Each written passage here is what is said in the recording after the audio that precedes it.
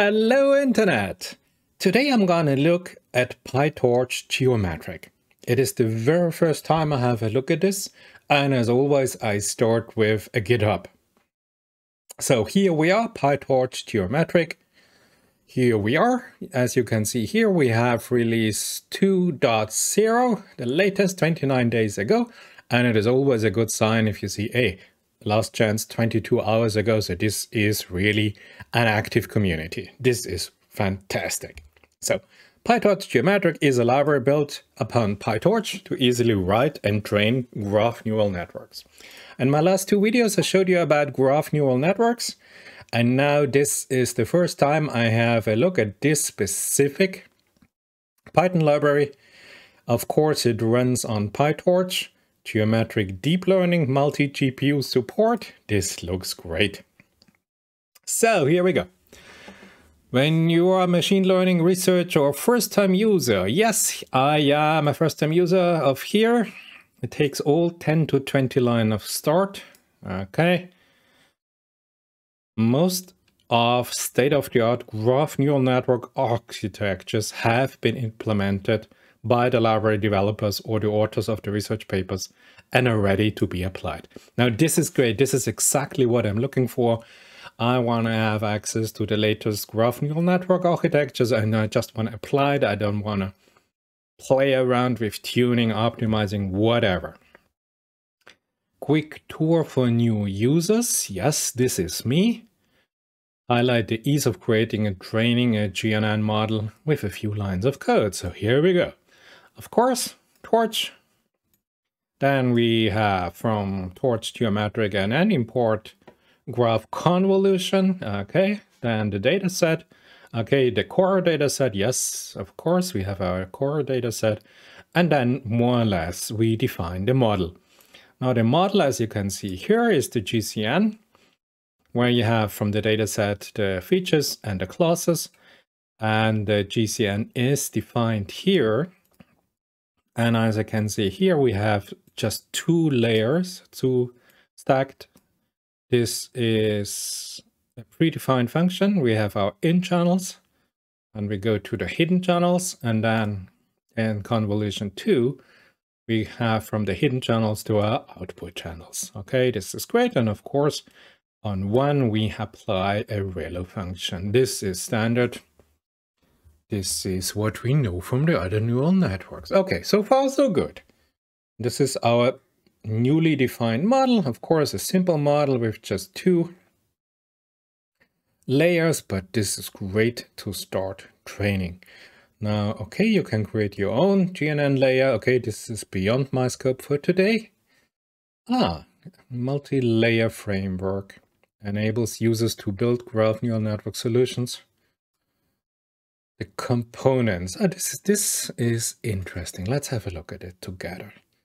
So what is PyTorch Geometric? We have an engine layer, of course. It is operating on PyTorch. That's great.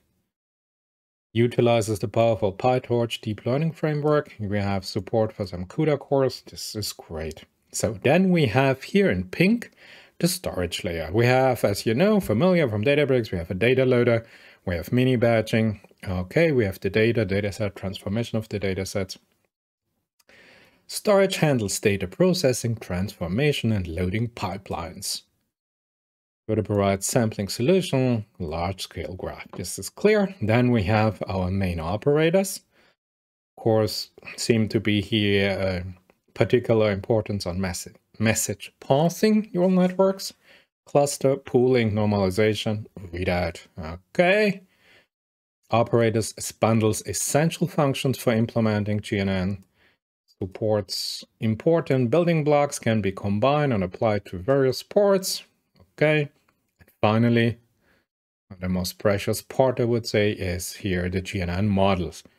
We have predefined models and examples. So this is what I'm looking for, for example. I suppose you too, if you're a first-time user.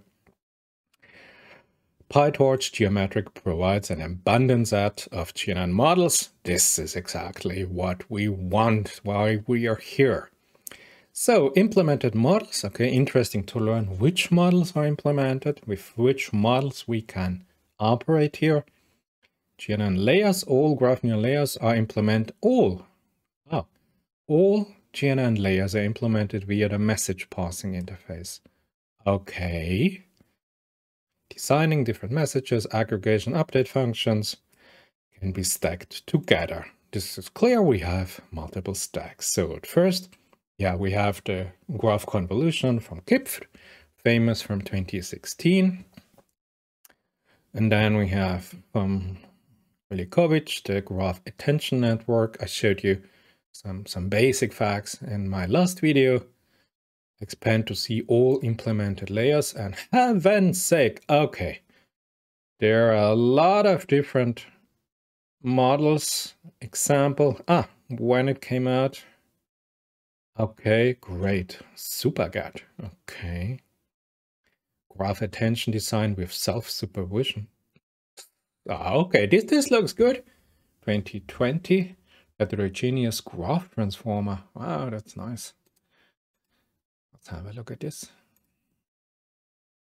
Okay, we have the code. This is great. So this, this sounds interesting. So next thing, pooling layers.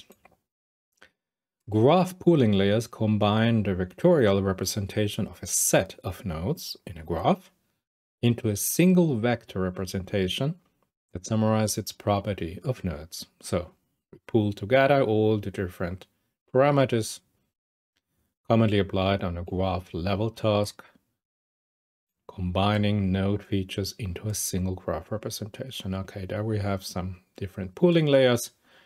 Spent here to see all implemented pooling layers, global attention. Okay, a lot of pooling layers. Great.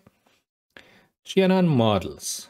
Ah, Node2Vec. This is nice. This is what I'm interested. Deep Graph Infomax. Also heard about this. Okay, nice. Our supported GNN models incorporate multiple message passing layers. Of course, users can directly use predefined models to make predictions on graphs. Great.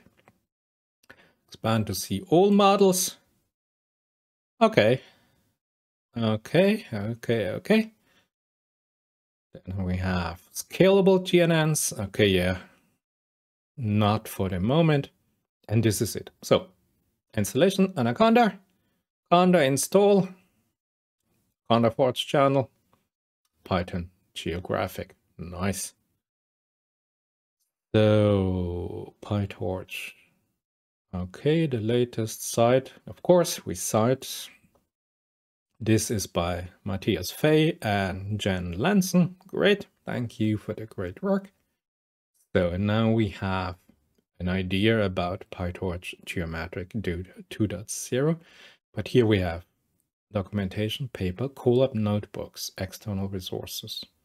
So let's go at first to the documentation. Okay. Here we have, okay, the NN, the data, the loader, the datasets transformation, this is great. So if we're interested, convolution, dense convolution, normalized global pooling layers, dense pooling layers, okay. Heaven sake, parameters, linear, convolution layers. Message passing, graph convolution, sage. Okay, sake, wow, okay. Okay, okay, okay, okay, okay, yes. Nice. Let's start at the beginning. Introduction by example. Okay, so we have a simple graph. Then we have a presentation, edge index, tensor presentation, okay. Common data sets, yes. Technical University, the data set, this is okay.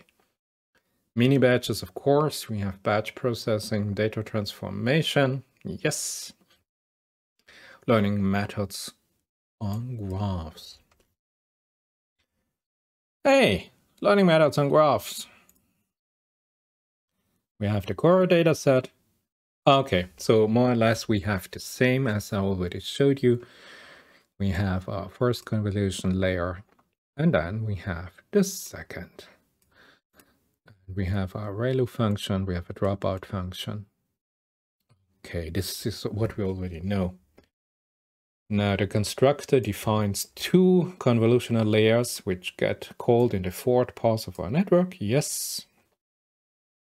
We choose ReLU as our intermediate nonlinearity and finally output a softmax distribution. Yes.